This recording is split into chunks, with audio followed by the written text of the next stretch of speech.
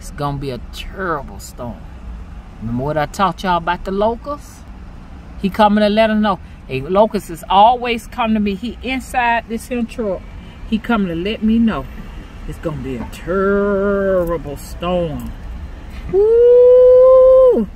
And the Guatemalans, the Hispanics, and the Mexicans, they all here in their vans and trucks so that they can be prepared for the cleanup because they're going to tear up a bunch of buildings in the house.